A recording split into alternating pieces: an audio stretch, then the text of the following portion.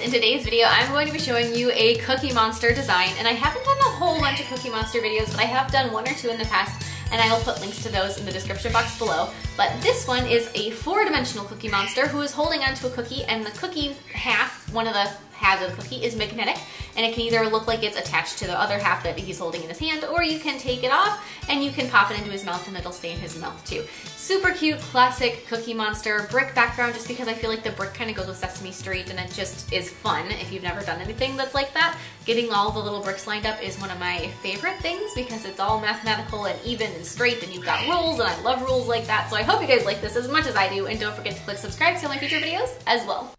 So to begin this brick background, take a light color, an off-white or kind of a beigey color, and just apply a very thin overlay over the nail. If you are doing this on top of a if, an enhancement that you're going to be wearing, make sure that there is a clear acrylic base that's fairly strong underneath so that once you do these other layers that will not be filed on top, that they actually will withstand daily wear and tear. Now grab your favorite little mechanical pencil and you're going to draw a series of horizontal lines going across the nail tip. Then every other line you're going to be adding little um, vertical lines. So you're going to just sketch in where your bricks are. You're going to do in one set of lines, you're going to do just a series of those vertical lines going down, and then do a second one drawing in the bricks, and then go in between on those lines, and in between all of them, one row down, add the second set. So your bricks are offset, going kind of in a zigzag back and forth. Now grab red, orange, brown, a couple shades of red, darker red, burgundy, uh, you know, a whole bunch of these brick colors or colors that would normally be found in bricks. And you're going to set them next to you all, open them all up, and then grab a mix of the colors. So I started with, I did two colors per brick and I did a whole bunch of bricks that are the same two colors together. So it was like an orange and a brighter shade of red. And I'm going to first dip into whatever color's lighter. That's the general rule when you're going with um, a two-toned bead of acrylic or a double dipped bead. You always want to go lighter first and then darker, but you're going to just grab and then fill them in kind of at random. Space them out a little bit, but the key here is to not overthink it, which is so difficult to do, and it's so tempting to just really plan it out. Like I said, I love rules with art. I said that in the intro. I love that doing the doing the bricks because there's rules. Well, this is one of those moments where you want to try to forget the rules and not overplan it. Just place them, figure out where they go, and do some of them with your first color scheme. After you have, you know, a good amount filled in. Try to base it on how many different color combinations you can do. So let's say you have four different colors know that you can only mix those up a certain number of times. You can really just do so much. So, after you've got your first set done, say you decided on three color combinations that you have your colors laid out. And you know, if you do red and dark red, it's not going to show up that much. So, try to vary them up a little bit. But you're like, yep, got three. So, fill in a third of your bricks approximately with that first color combination. Then move on to your second color combination. This one is obviously darker than my first one. And then you're going to fill in approximately the same amount of bricks with that next color. As you can see, as you're filling in your bricks and you are kind of tucking them in so that they don't extend past their lines at all, you want to bring them in so that they are within the pencil mark. In theory, what you're left with after you have filled in all the bricks is essentially the width of that pencil mark. It might be a little bit bigger, it might be a little smaller, it might depend on the brick. The other thing that's going to happen is your pencil marks will become less visible as you are working. That is because the monomer that's on your brush will erase them. So, as you are working, just be conscientious of the fact that you don't want to just go crazy with your brush and brush it all over the nail. You want to try to just work within the area that you are are doing currently. With that being said, it's good that your monomer will erase these pencil lines because you don't necessarily want the pencil lines in the final product. You want to see that light cream color. So it's all right that your pencil lines get erased, but try not to erase ones that you still need as you are working. So you've got your secondary color, you filled in a good amount. I ended up with four different color combinations. And then I'm going to grab the third one and just keep filling them in. As you are filling in these bricks and you're going in and you've got the last little spots left, if you find that you have, for whatever reason, you didn't you know, space them out very well and you've got three bricks right in a row that are left all for the same color, you may want to switch that up so they don't all have the exact same color right next to each other. And some of your color combinations can be very similar. The one I'm working on now and the previous one are almost the same. Instead of like a medium red and a dark burgundy, it's the orange and the burgundy. So there's not that much difference, but it is a little different. Just try to, you know, switch it up a little bit here and there. Fill in all of these bricks as you are working on this. If you are doing this as part of a set with Cookie Monster, I think it would be absolutely amazing to do like French tip bricks and just a whole bunch of different things. I really like the brick look. It's one of those things that I don't know. It's very pleasing to me. It's very satisfactory. So just finish up all of those little spaces that you have left as you are getting into the last little bits, like on the edges and near the cuticle area. There's very little that shows. So make sure that as you're picking up your bead of acrylic, you pick up small beads because you don't want your bead of acrylic to go loose and flood any of the other bricks that you finished. You want to hopefully keep it as well contained to the area that you are working on as possible, which might be difficult depending on the acrylic system that you're using. Some of them spread very easily. So, one tip is after you picked up your bead of acrylic, before you place it on the nail, flip your brush over so that the acrylic bead is sitting on top of the bristles and press the back of the brush against your paper towel to pull some of that extra monomer out of the brush, out of your acrylic, so that it's not so soupy. Now we get to have the fun stuff. We're going to make our cookie monster. On a nail form backing, sculpt a mouth shaped blob of black acrylic. It doesn't have to be perfect. Tuck it in so it's about the right size, about the right shape, but if it's a little uneven on the edges, that is a-okay. And place a magnet in the middle. After that magnet's in the middle, apply a little bit of black acrylic over the top of it so that that magnet will not go anywhere. Now with your blue cookie monster color, you're going to add the bottom of his mouth, his lower lip jaw area. So just make a big U shape underneath the black. Depending on how wide open you want his mouth to be, this might be bigger or smaller. And then with a something pokey, like a toothpick, dipped into some of the blue acrylic powder, make little furry textures all over that lower lip.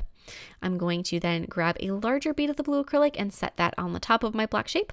And this is going to be for the top of Cookie Monster's head. I'm going to be pushing that acrylic forward and kind of pulling it up. And that is going to be to create a little bit of height above his mouth. So it looks like it's sticking forward. Same thing after you've got the shape down, grab your toothpick, dip it in the blue acrylic powder, and just basically stab Cookie Monster's face to get the fur texture in there. It sounds more violent than it really is. Trust me, it works out pretty well. I find that a plastic floss pick, I've been using the same one for years, is the best thing for this type of a situation. You could use a wooden toothpick if you wanted to, but those, because there is a little bit more texture, there's the wood grain, it will collect acrylic and it won't last as long. Whereas my plastic floss pick, I have cleaned it off and kept using it. So that's up to you. I know that the desire to not use plastic is pretty big, especially, you know, there's some people more than others that have that. If that's the case, then you may consider you know, making a decision at what's appropriate. After you have your Cookie Monster this far, you're going to press a magnet into kind of to the side of his mouth down a little low. This is where he's going to be holding that other piece of the cookie and cover it with blue acrylic. As you can see, I first set the magnet on top of the one that's already in his mouth. That way I know that for the um, positive and negative poles, they'll be facing the same direction. So you just pick up pick the magnet up off the one that's already in the nail and set it down without allowing it to flip over. Next to Cookie Monster, you're going to sculpt his two eyes with white acrylic. The reason you do not want to sculpt them directly on his face is because of that fur texture, you wouldn't get nice, smooth lines on the outside of the circles, and they would just look a little bit rough and bumpy. But if you sculpt them separately and then attach them, you don't have to worry about that. To attach them, just grab some white acrylic, clear acrylic, or blue acrylic and place it underneath where you want the eyeball. Pick the eyeball up off the nail form backing, and then you can go ahead and you can set down the other one, just like so. Once that's done, I would take some clear acrylic or blue acrylic and add a little bit more behind the eyes to make sure that they really are secured. And then I found my eyeballs weren't quite as smooth and dome shaped as I would prefer, so I'm going to add a smidge more white acrylic to the very top of them. Place yet another magnet on top of any of them, and then you're going to just put a little red squiggle on the top of it to know which side is up.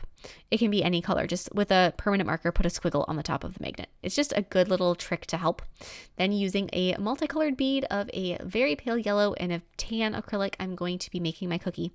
Set that multicolored bead down on your nail form backing and then work with your cookie to kind of stab and poke and push and pull it into a rough circle.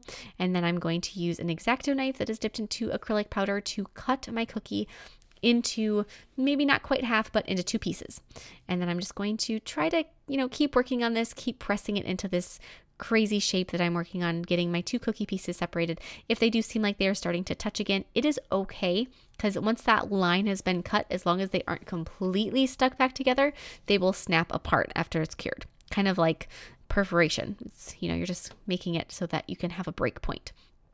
With a darker shade of brown, I'm going to be adding all my chocolate chips. I personally am a chocolate chip cookie person. I adore chocolate chip cookies. And so whenever the opportunity comes up and I'm like, a cookie, it's always chocolate chip because that is, you know, it's a classic. It really is. So I'm just going to go through, make sure that you sculpt some of your chocolate chips that go from one side of the cookie to the other to really sell that this is the same cookie.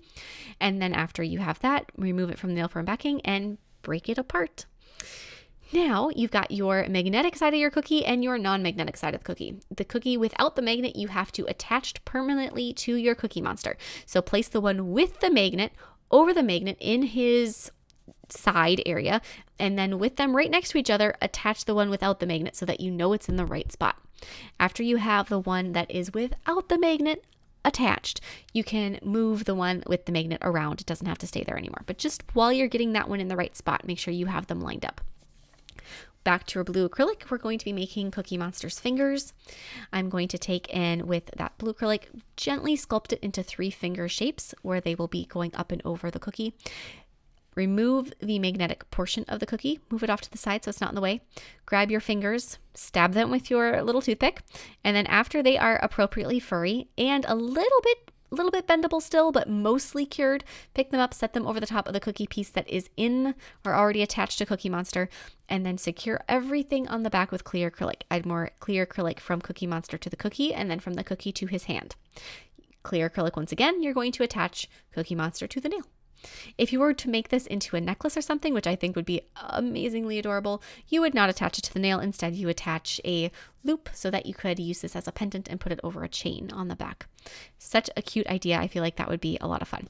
And then after I have my Cookie Monster nicely attached, I'm going to take a lighter shade of blue and I'm going to be washing over all of his fur to really pull out that fur texture that we worked on. Depending on your personal art preferences, you may or may not want to do that. I think it really adds a lot of detail but like I said, if it's not your thing, you can skip that part because the fur texture is very detailed and very intense. So it's there. You don't necessarily have to. With black paint, I'm going to be adding his pupils. Do not make them facing the same direction. One should be looking to one side, one should be looking up and off to the other side. And then I'm going to apply matte top coat over Mr. Cookie Monster. And that's it. It's all done. You don't have to do any top coat on the background. The cookie doesn't need any top coat. As soon as his fur is sealed and his eyes are sealed, he's good to go. I hope you guys like him as much as I do. And don't forget to click subscribe to see all of my future videos as well.